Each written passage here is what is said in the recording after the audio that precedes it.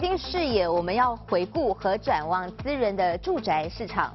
根据市区重建局的预估数据，我国二零一九年的这个整体私宅价格上扬了百分之二点五。我们来一起看看这三年来的表现。二零一七年的这个私宅价格啊，就上升了百分之一点一。那么我们看到了二零一八年私宅价格的涨幅是百分之七点九。到了去年呢，二零一九年涨幅只有百分之二点五。其实这个已经比了二零一八年的涨幅明显还来得低。不过呢，比起二零一七年是来得高一些的。虽然去年的这个私宅涨价格涨幅比起前年是缓和了，但是其实私宅的价位已经逼近了历史新高。我们来一起看看这张图表。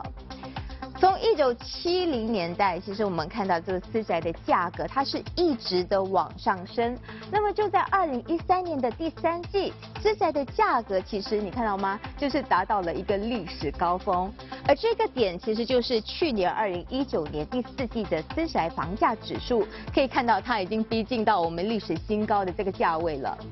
根据市建局的预估数据，二零一九年第四季的私宅价格指数是一百五十三点三点，那么它和二零一三年的一百五十四点六点呢，其实只有微小的差距。还记得从二零零九年开始，私宅价格开始一路攀升到二零一三年的历史新高水平。那么为了控制不断升高的私宅价格，其实政府在二零一三年就推出了降温措施，为火热的楼市降火。如今私宅的价格逼近了历史高峰，今年会不会出现另一轮的降温措施呢？那么关于这一点呢，我们就欢迎的就是高伟环球研究部的总监李敏文。敏文你好。你好。我们看到这个全球的局势还是一样的是不明朗，然后我们的预估，我们的经济预估增长呢也只仅有百分之零点七啊。是。这一切的一切，但是这个私宅的这个价格却是不断的攀升，甚至接近我们的历史高点。对。背后有什么原因呢？OK，一方面就是说，新加坡是一个呃避险天堂，所以呃就是说有一些呃国际动荡的局势来看，那新加坡的这个资产会比较受青睐。这也不仅仅反映在私宅。啊，其实也反映在一些商用房地产上面。那我们就看到有一些外国买家，他对新加坡的私宅是比较青睐的，尤其是在啊去年的下半年，其实我们看到蛮多中国买家进场，而且他们啊比较大手笔，就是经常是以五百万以上的那个单位起跳的。嗯，其实尽管二零一九年的海内外的局势欠佳，去年自宅的价格还是上涨了百分之二点五，销量其实也是表现不错哦。我们来看看这个图表。根据这个统计呢，二零一九年共有九千九百二十五个新私宅单位卖出。和这六年来新私宅的销量相比，二零一九年的表现相当突出，仅仅比经济增长接近百分之四的二零一七年少了六百多个单位。是为什么我们过去年的这个经济增长是少过百分之一？对。但是呢，这个新私宅的却是卖的跟这个二零一七年几乎是差不多一样好。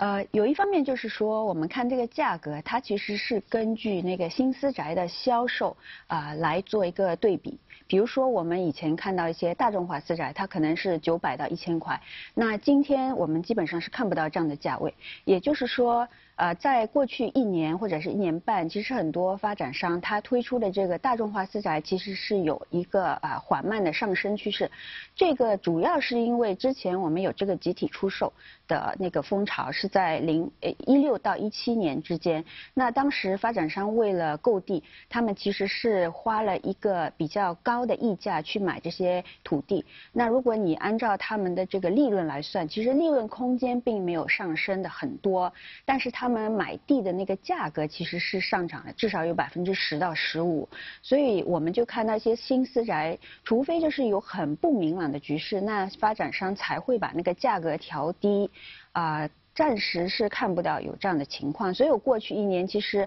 很多新私宅推出市场，但是他们的价格却没有走软，这也就是造成这个整体上这个价格指数上升的一个原因。还有就是价格指数，你看我们跟二零一八年比，其实我们上涨的幅度挺小的，这也就是因为啊，其实整体经济是不不太明朗，所以。发展商他原本可能可以开价到十到十五八千，嗯，但是因为他啊就是取决于这个买家，再加上一个降温措施，他们就把这个定价其实拉高了不是很多，可能百分之五到百分之七，所以我们整体看上去那个私宅是比较稳健的，但是这个买家的买气其实也不减，啊，也是因为这个大利率的环境，我们看到这个可能过去啊六个月其实这个利率一直在下调，主要是因为。这个中央对中央联储局还是在下调这个利率。那这个地段方面呢？比方说南部地区滨海的那一块，其实这个吸引力是不是也有助长的这个呃买气呢？呃，有的，因为呃，二零一九年就是我们有看到它有两个大的宣布嘛，是一个是就是政呃政府它宣布了我们的总蓝图，就每五年修改一次总蓝图。那总蓝图你看到一些啊热点，他们就会啊。根据这个，基本上啊，发展商也会根据这些热点来推出一些新私宅。嗯。啊，其中就提到这个呃，滨海滨海呃那个南部滨水啊，对地区，它其实是一个啊，就是接下来会是一个很时尚的一个地区，可能是跟滨海湾有类似的一个发展的那个规划。那就呃有一些发展商他就看准了这个卖点，当然那边原本就有一些那个。吉巴俱乐部啊，这些地段，然后加上它相当接近中央商业区，所以本身的这个地段也非常好。嗯，是。接下来很多项目确实值得让人家期待。不过去年我们看到了这个私宅销量方面就卖出了。将近一万多个单位，嗯，当然价格方面也差不多逼近了历史新高。你觉得在这样子的情况之下，今年政府有没有可能就是推出另一波的降温措施呢？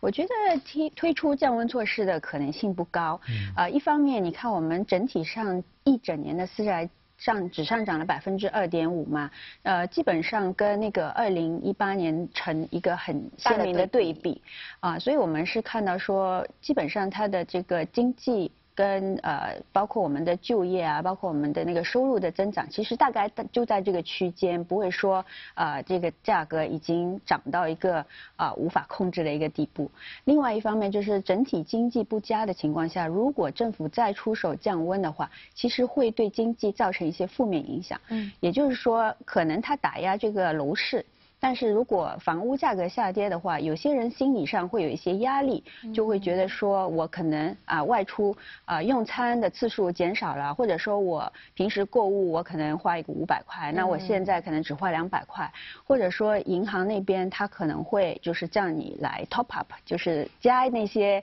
啊那个就消费比较谨慎一些对，就整体上那个经济会被拖累，所以我觉得在目前的这个大环境下，其实是不太适合。就是现在出手，那么私宅的价格呢？你预计今年是会回升还是会下降？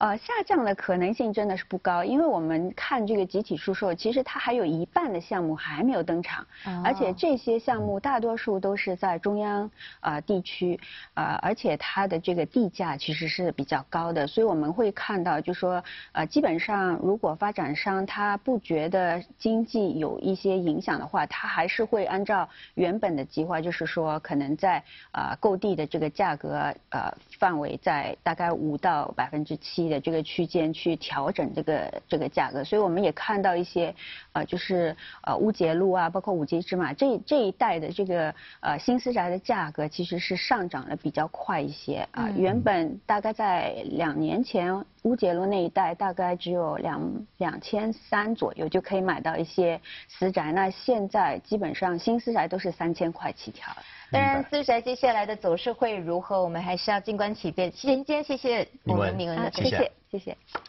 好，那么欢迎浏览八世界资讯娱乐网以及狮城时事的面播来收看网络视频。狮城有约，我们再会。明天见。